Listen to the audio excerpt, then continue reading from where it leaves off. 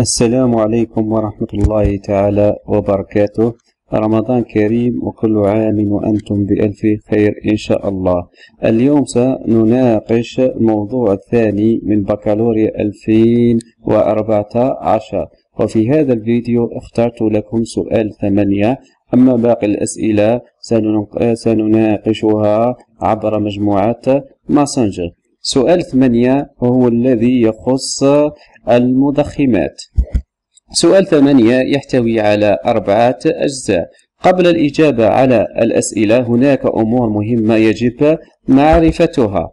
آه، في هذه الدارة لدينا مقارنين ولدينا عدة مضخمات. المضخم الأول يسمى مضخم التابع المضخم الثاني وهو مضخم غير عاكس المضخم الثالث كذلك مضخم غير عاكس أما المضخم الرابع ومضخم خامس فهو عبارة فهم عبارة عن مقارنات يقارنون الجهود في اثنين وجهود في ثلاثة. نبدأ في المضخم رقم واحد. يسمى بالمضخم تابع يربط مخرجه بالمدخل العاكس حيث هذا السلك لا يحتوي على مقاومة. رجع أي أن لا توجد مقاومة؟ هنا.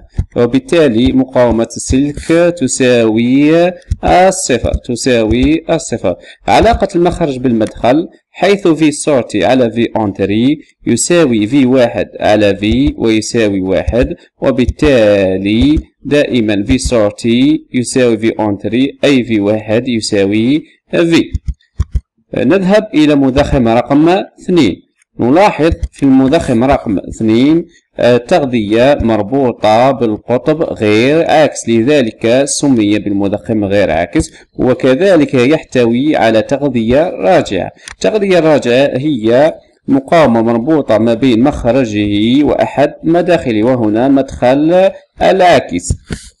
آه وبالتالي قانون التضخيم في هذه الحالة يساوي آه جهد المخرج على جهد المدخل ويساوي V اثنين على V واحد ويساوي مجموع المقاومتين على المقاومة الغير راجعة التي هي R ثلاثة. وبالتالي V اثنين على V واحد يساوي RT زائد R ثلاثة على R ثلاثة ومنه V اثنين يساوي RT زائد R ثلاثة على R ثلاثة V واحد.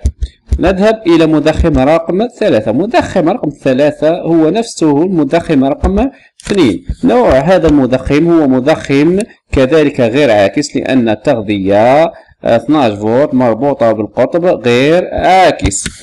وبالتالي V sortie على V entrée أي جهد المخرج على جهد المدخل يساوي في ثلاثة على على جهد التغذية.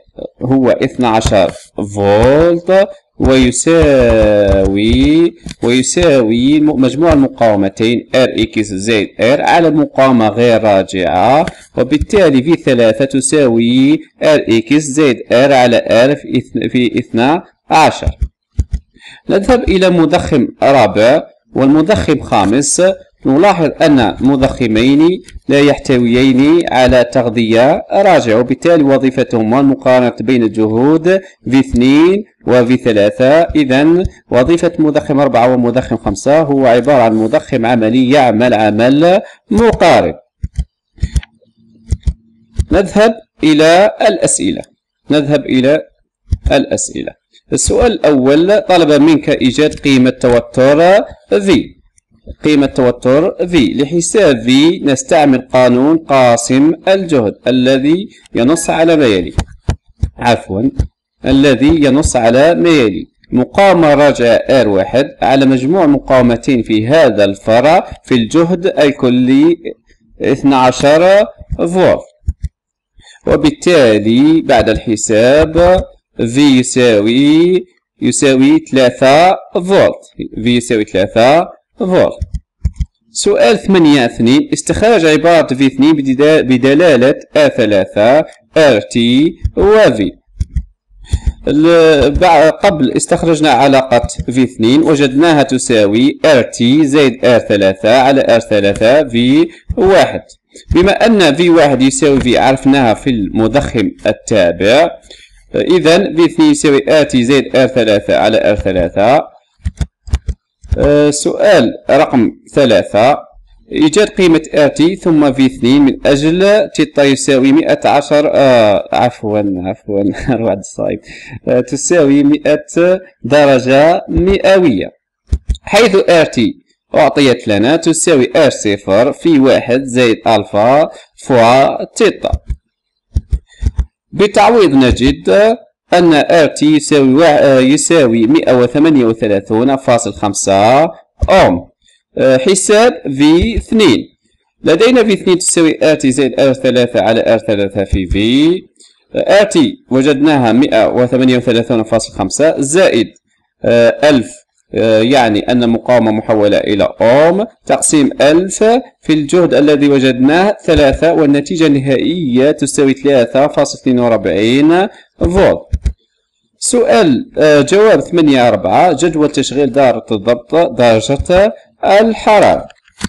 لدينا في السطر الأول V3 أكبر من V2 في المقارن رقم 4 بما أن V3 عفوا للمرة الثانية بما أن V3 في القطب الموجب أكبر من V2 فالمخرج المقارن هو 15 فولت 15 فولت. أما في المقارن رقم خمسة بما أن V ثلاثة أكبر من V اثنين و V ثلاثة موصولة بالقطب العاكس وبالتالي مخرج المقارن خمسة zero فولت.